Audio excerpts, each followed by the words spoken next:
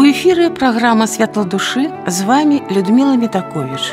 Шлях з удзельнікамі 28-й навукова-асветніцкай экспедыцыі дарога да святынь працягваецца. Раніцай у Салігорску на цэнтральнай плошчы прадстаўнікі тутэйшых навучальных устаноў літаральна разабралі нашых місіянераў па школах на урокі пісьменства. А сярод нас паэты, журналісты, святары, педагогі, бібліятэкары, для каго духоўная асвета справа жыцця. З ветэранам экспедыцыі настаўніцай са слоніма Лізаветай Мукасей у восьмай сярэдняй школе са спартыўным ухілам. Знаёмімся з дырэктарам Віктарам Івановичам Броўкам. Школа была создана в 1979 году. С 2010 года в школе созданы специализированные по спорту классы. На базе нашей школы работаем и сотрудничаем с футбольным клубом «Шахтер». На базе футбольного клуба «Шахтер» основной команды создано молодежное отделение футбола, где занимаются воспитанники со всего города и со всей республики. Те, которые играют в основных составах потом, впоследствии, и играют за сборные по разным возрастам. Есть сборные, которые 2001 года, 2002 года вот они играют за эти национальные сборные и представляют также футбольный клуб «Шахтер» в дубле и молодежном футболе. На базе э, футбольного клуба «Шахтер» тренируются на футбольных полях. Те дети, которые приехали из других районов и областей... Со всей Беларуси. Со всей Беларуси. Они живут на базе футбольного клуба «Шахтер» «Жемчужина». База называется. А вам привозят их в школу Да, учиться. да. Сложная схема, но когда я пришел в эту школу, тогдашний начальник молодежного отделения БАС Андрей Михайлович, у нас была мысль построить стадион на базе нашей школы. Вот эта мысль и мечта моя воплощается. Вот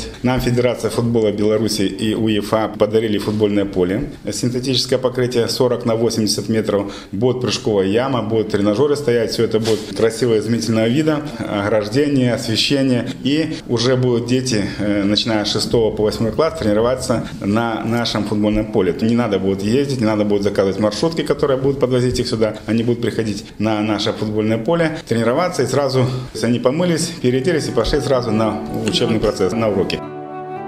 Футбольны клуб шахцёр, а пад яго патранатам школа амаль равеснік Салігорска. Першая каманда фарміравалася з будаўнікоў аматараў, а ў 1978 адчыніла дзверы восьмая школа, у якой цяпер вучацца юныя спартсмены з усёй Беларусі. У музеі ганаровыя кубкі, граматы і медалі.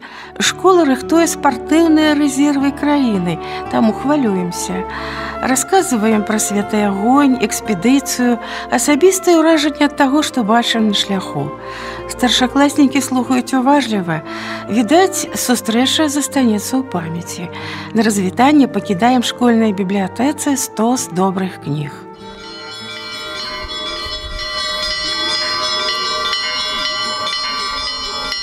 Экспедыцыі сустракаюць у грэску, аграгарадку на слушанне Месцічы з харогамі, а мы з непагаснай лампады са святым агнём доўгім шляхам ідём да тутэйшай царквы Рождества Богородицы. Немаловажным событием для Греска, когда сегодня наполнен храм молящимися, когда мы все вместе единым сердцем прославляем Пресвятую Богородицу. У нас в руках зажженный благодатный огонь, который нам напоминает о божественном промышлении о каждом из нас. Кого-то этот огонь согревает, кого-то укрепляет, кого-то он воскрешает охладевшую веру, в ком-то помогает обратить внимание на свой внутренний мир, ибо, как сказано, что Огонь человеку дан для того, чтобы он мог вжечь свечу и хорошенечко вымести все углы в своем доме, обнаружить всякую грязь и всякую скверну, которая там где-то под кроватью, под тумбочкой. Так и свет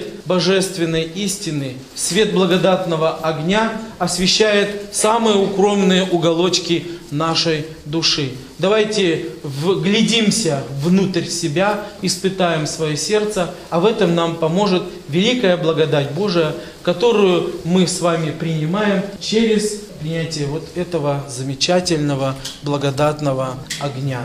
Память о сегодняшнем событии здесь, на территории храма, будет высажена аллея из деревьев. Призываю всех помнить об этом событии, не забывать дорогу к храму, не забывать свои корни, не забывать о том, что у нас есть от Бога бессмертная душа, и что именно только в совместной молитве в храме мы с вами можем истинно и достойно приобщиться всех даров благодати Святого Духа. У храме сустракаецца наша пуцяводная загор'е сталавіцкая ікона Багародзіцы і тутэйшая святыня забельская цудатворная ікона Божай маці, пра якую расказвае настоятель Александр Корань. Вы проезжали, там есть деревенька Забелый, она там немножко в лесу находится. И вот когда был мор в этой деревне, в 1650 году по велению Божьей Матери была написана икона на шкуре вала. Человек отнес эту шкуру вала в Слуцк, и там художник написал эту икону. Когда эту икону принесли в храм, в деревню, стало все чисто, стали все здоровыми люди, выздоравливали. Там стоял очень давно храм древний был в этой деревне. Когда эту икону поместили в храме, в ней начали стекаться много людей. Затем люди начали исцеляться от этой иконы, хромые люди. Много стояло костылей, подвесок из золота, серебра. Люди жертвовали свои ценности на эту икону от исцеления. И когда я приехал на этот приход, мне пришла в голову мысль, а почему ее не возобновить, эту икону? Мы ее написали по благословению тогда митрополита Филарета. Эта икона была принесена в храм крестным ходом из Минска. Тоже было событие грандиозное. Ее перенесли в храм, и вот она находится в нашем храме. Если присмотреться на иконе мы видим Божию Матерь с Богомладенцем, праведных Иакима и Анны, Елизавет и Захарию. И апостолов святых. Эта процессия святая идет в храм. Храме встречает Николай Чудотворец их и крестное знамение, которое символизирует страдания Христовы. Вот этот крест, который изображен на иконе, он символизирует страдания Христовы. Эта икона находится в нашем храме, люди подходят, молятся перед этой иконой. Дар мы приносим вам тоже иконочку, пускай Спасибо, будет у вас Господи, память о посещении нашего храма, о нашей встрече. Да забельскай іконы ў грэцкую царкву пракладзены паломніцкія маршруты. Не раз сюды прыязджала Святлана Іеропіс. Одна из почитаемых икон этого храма Николая Чудотворца, початок 20-го стагоддзя. Она, конечно, друкована у типографії, але ми видим, що такі ікони, зроблені типографським шрифтом, вони так само відносяться вже до культурної коштовності. І ось ми бачимо цей грозний погляд Святого Миколая, але він глядить якраз на себе на іншій іконі, е, яка з'являється головною святиною цього храму. Це ікона Божої Матері Забельська. Батюшка мусить розказати Батюшка вам казаў, історію. але ж у вас ёсць свае ўражанні ад яе вы ж вадзілі паломнікаў Е, Ми пам'ятаємо ще такий час, коли ця ікона виглядала зовсім по-іншому. І вона була зроблена таким чином, бицем і вона справді на таких стужечках була нав'язана на таку основу. І коли ми підходили, то ми справді якби уявляли, що ось вона розтягнута ця волов'я шкура, на якій була написана ця ікона. На що ще треба звернути увагу на сам тип написання цієї ікони. Бачно, що це менавіта наша білоруська ікона. Маємо погляд Божої Матері виразними очима, Господа, опранутим сільським таким хітончики, якби рубашечка така дитяча. І ті святі, що йдуть за Божою Матір'ю, так само вельми напоминають старожитне письмо, менавіта білоруське, 17-18 стагоддя. Тому це справді така типова білоруська ікона. Но все ж таки вось тая ікона была страчана А па якой напісалі ж тады вот гэтую копію Здається, знайшли некую вияву, Храм повести Святогорца, Слуцк. Самый большой колокол в Беларуси тут звонит.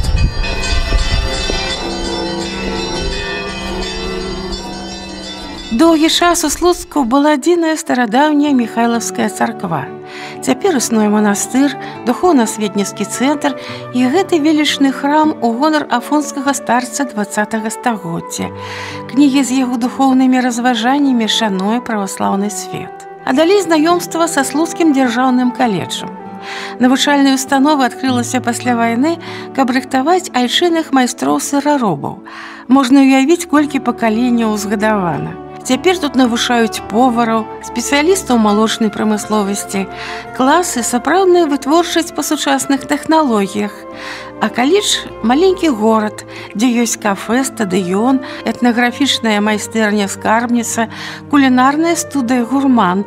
Тут ствараюцца праграмы для мясцовага тэлебачання, гасцініца для наведвальнікаў бацькоў і нават зімовы сад, экзатычныя расліны якога даслаў сталічны батанічны сад.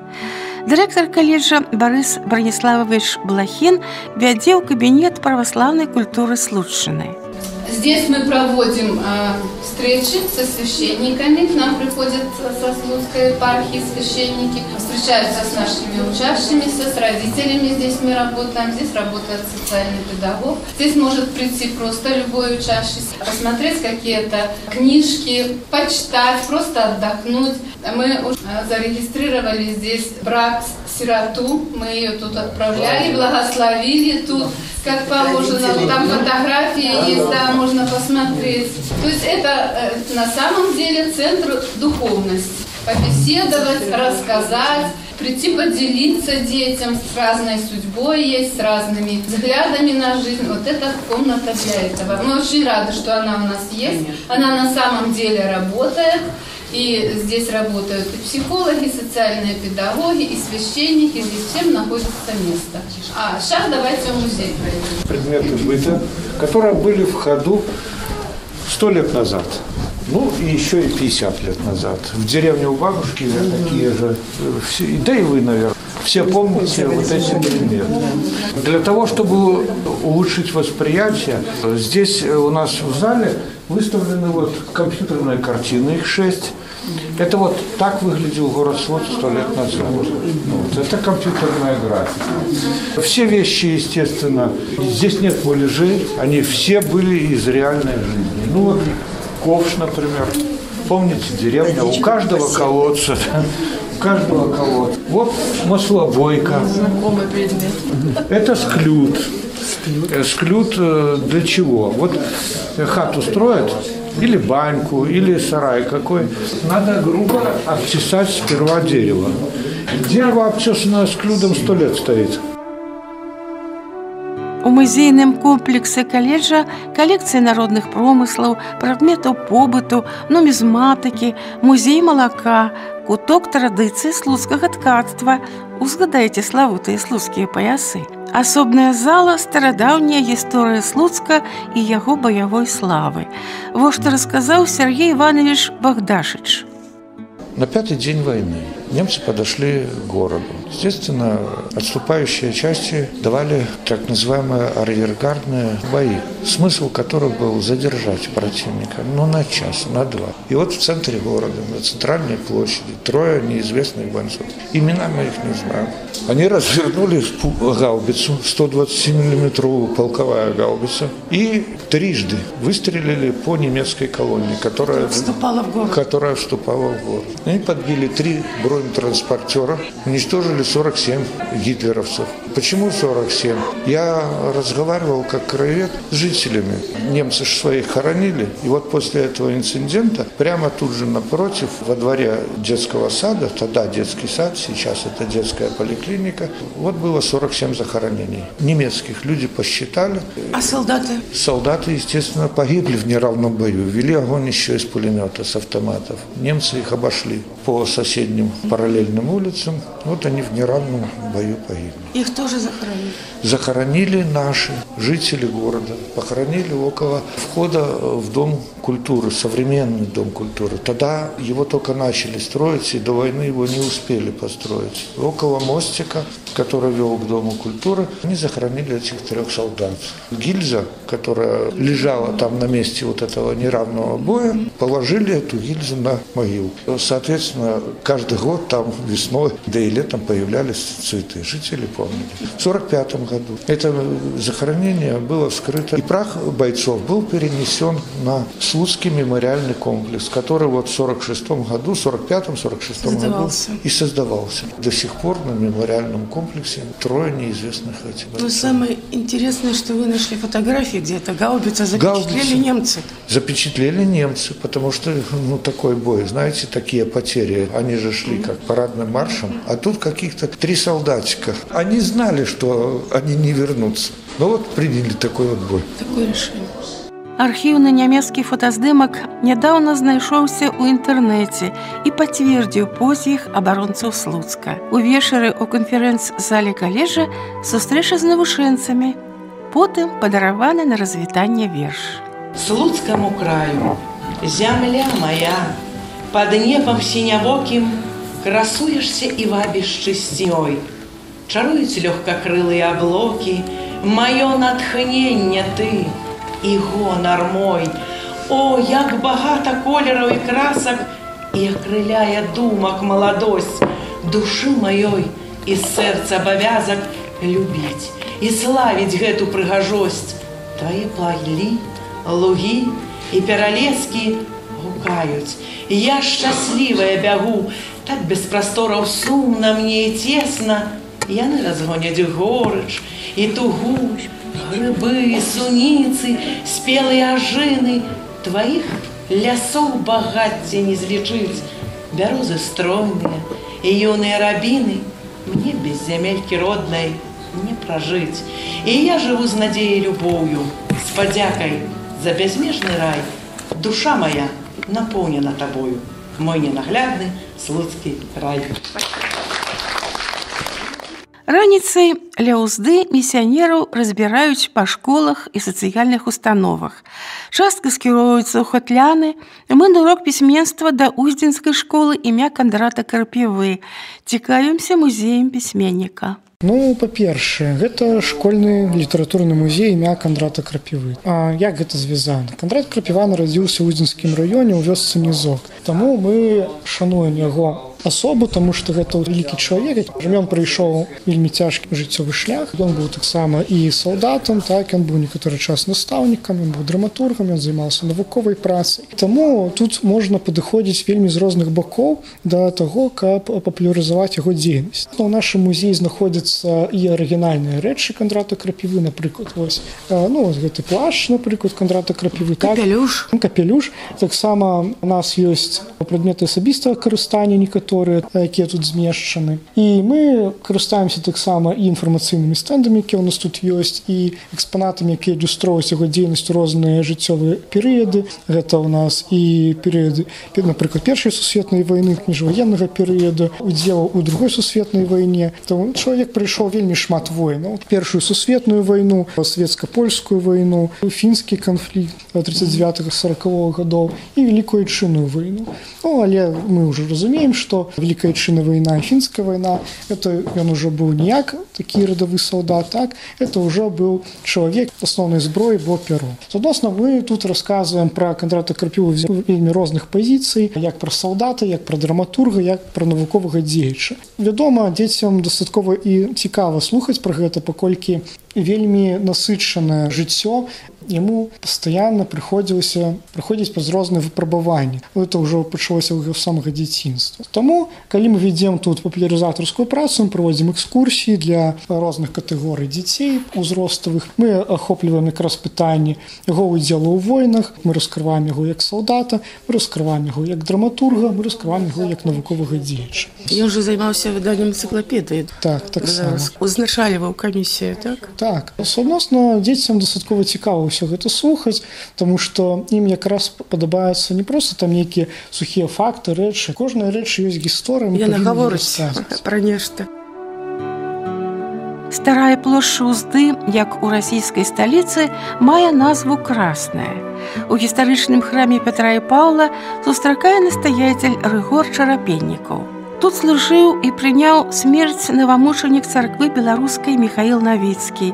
Ён паходзіў сям'і святара, атрымаў грунтоўную савецкую адукацыю і толькі калі гэта стала небяспечна, у двадцатыя гады мінулага стагоддзя абраў подзвіг святарскага служэння.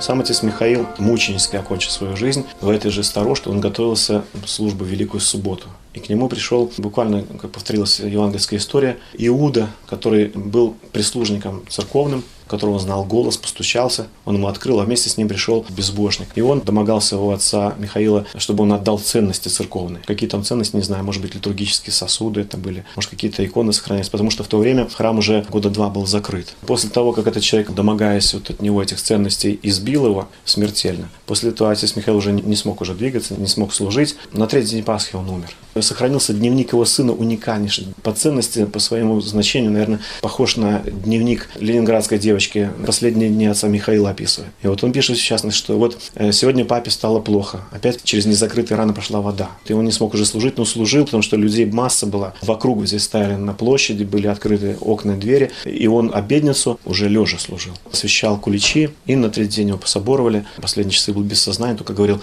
ну, скорее. То есть чувствовал приближение, наверное, испытывал очень большие боли. Господь призвал его в третий день Пасхи, небесной обители. И мы по благословению Владыки Филарета с года прославления 1999 ежегодно день Пасхи мы почитаем его память как второй престольный праздник. Мы совершаем крестный ход, и крестным ходом идем на место упокоения на кладбище, там совершается молебен. Его предстательством наш приход действует и растет и благоденствует до наших дней.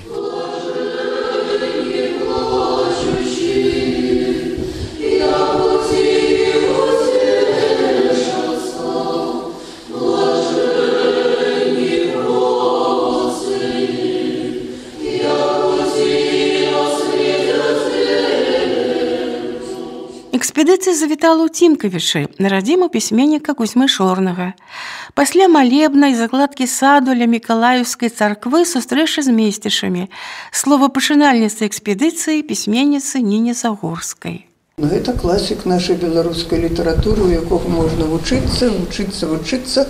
І мова, у вас жа такая мова, што ведаючы кузьму чорнага мы ведаем беларускую мову. Прыйшлі мы сюды. Сёння мы пасадзілі дубочка. Ён малюсенькі а ён жа крона яго магутная. Можа быць такой крона гэтага магутнага дрэва і таго саду які ў вас усе разам мы пасадзілі. Гэта наше яднанне адзінствам і любою уратуемся. Такімі словамі Сергій радонічскі благословляў на кулікову бітву Дмитрия Донского «Одинством и любовью уратуемся».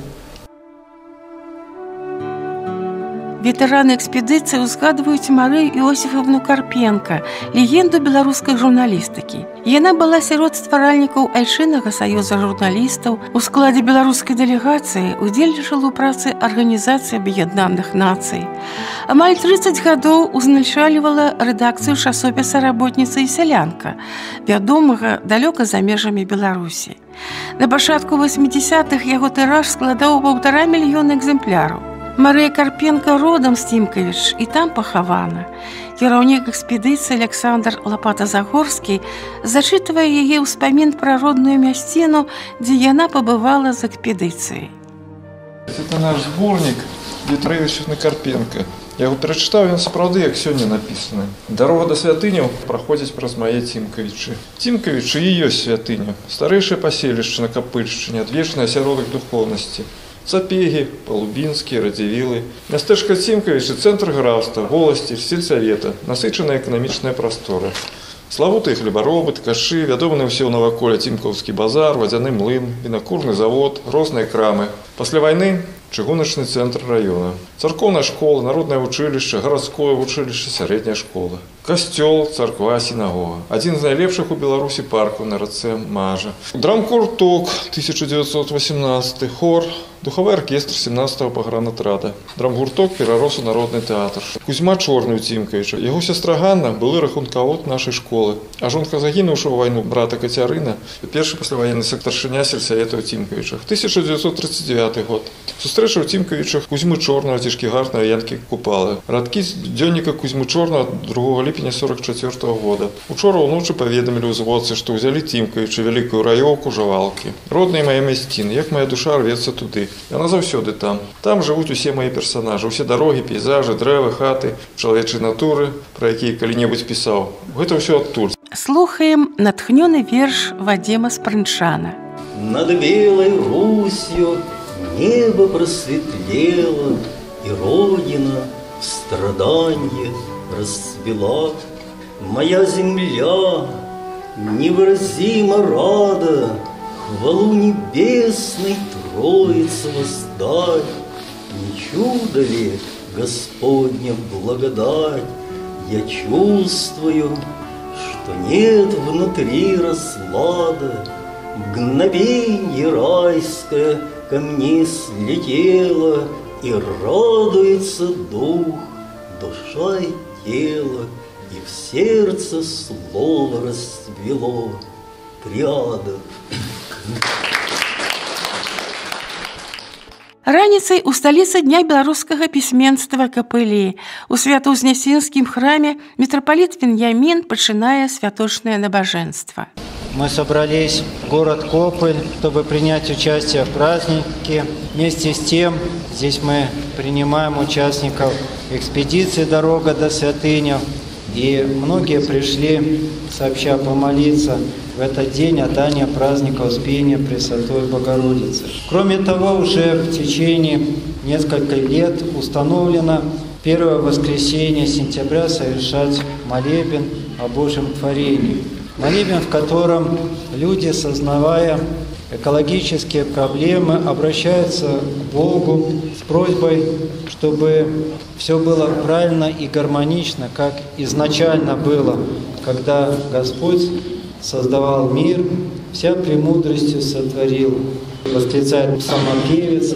И вот сейчас мы будем совершать крестный ход с молебном о Божьем творении, в котором мы, люди, прежде всего должны выразить свои покаянные чувства, сознавая то, что за грехи человеческие происходит разлад в природе. Грех накладывает отпечаток на все.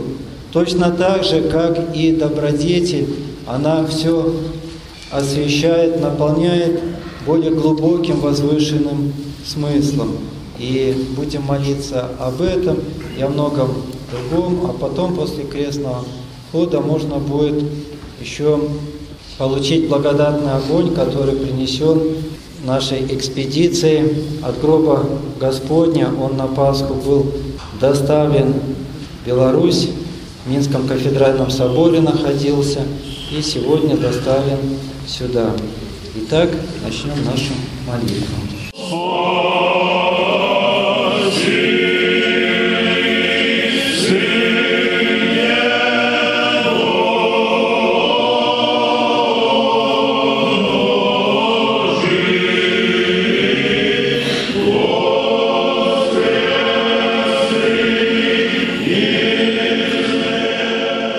2005 годзе экспедыцыя дарога да святынь пабывала ў капылі і заклала сад малітвы, пра што ўзгадвае Александр Лапата Загорскі. Копль якраз з гэтага часу будзе відаць сімвалам плотнасці нашай экспедыцыі, тому што якраз хрэсным ходам мы праходзілі праз яблонькі, якія мы пасадзілі тут у 2005 годзе. А цяпер яны поўны яблонік. Вось я спадзяюся, што наша экспедыцыя працуе настолькі ж не бясплотна. Зерняк, якое мы сеем кожны год, яна дае плёны на ніве асветы і адукацыі. А на плошчы капаля шуміць кніжны кірмаш, выступаюць пісьменнікі, паэты, Ля стэнда слуцкай раённай бібліятэкі дзяўчынка, голас якой уліваецца ў гоман свята. Святая слуцкая София,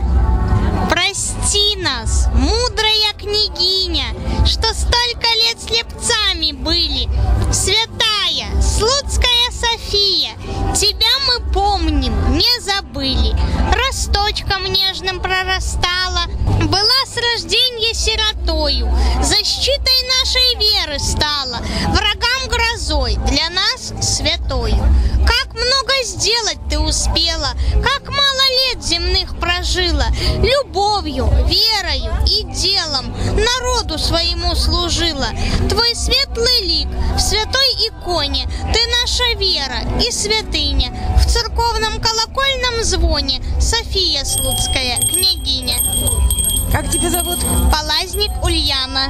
Ну, ты, наверное, участвуешь в чтениях каких-то, да, в кружке литературном? нет? Я участвую во многих конкурсах, являюсь призером, Молодец. лауреатом, дипломантом. Я хожу в Слуцкий центр детского творчества, сотрудничаю со Слуцкой центральной районной библиотекой. С ними также ездила на вечер. Было 40 лет редакторства Владимира Липского, журналов детских «Веселка», «Буся». И вот сегодня приехала на День белорусской письменности. Творческих успехов и здоровья.